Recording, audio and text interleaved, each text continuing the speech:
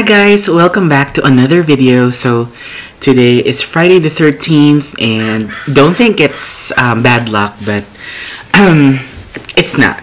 So it's just a saying. But anyways, hi, it's been a while and welcome to another Flowery Fridays. I know it's not Friday yet, but this video has been um, put back aside for a couple weeks now and I'm back. Hi. And but anyways, this garden that we're gonna showcase today in this vlog is uh, again from a friend of mine, co-worker before, and thank you for giving us the blessing again to feature your garden, a beautiful one. So watch until the end of the video, guys. I would really appreciate that and enjoy.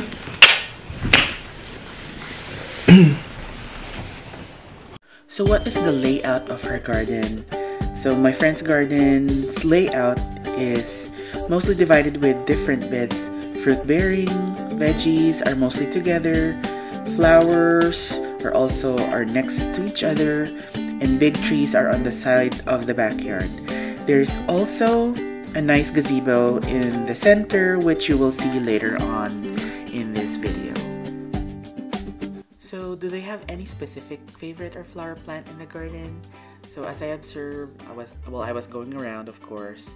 It's mostly fruits and veggies, and they have a lot of it because they can also use it, of course, in their food. And it's very healthy and it's organic, and I guess that's their favorite. So how do they take care of their garden despite their busy schedule? So my friend said as long as the sprinklers are working, it would be fine. So also, they uh, she also has a family member or a loved one who also takes care in maintaining their beautiful garden.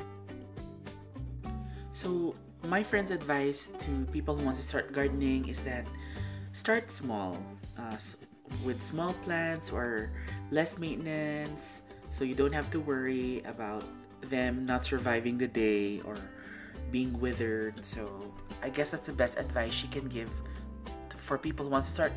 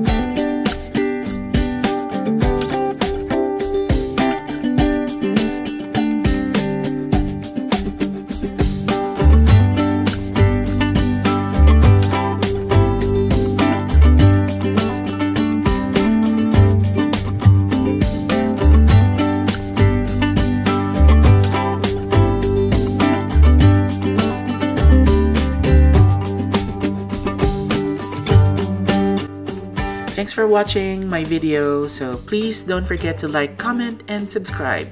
And of course, turn on notification bell buttons so you can see more videos in the future. Love y'all. Bye-bye.